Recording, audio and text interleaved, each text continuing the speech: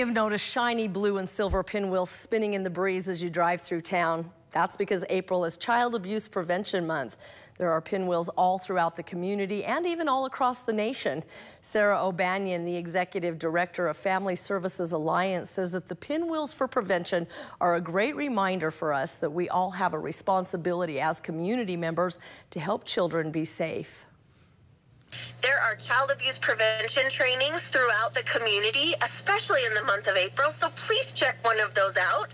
And also, as you see those pinwheels, have a conversation with your child or a child that you love and care about about how to keep themselves safe and how to ask for help if something's going on that makes them uncomfortable.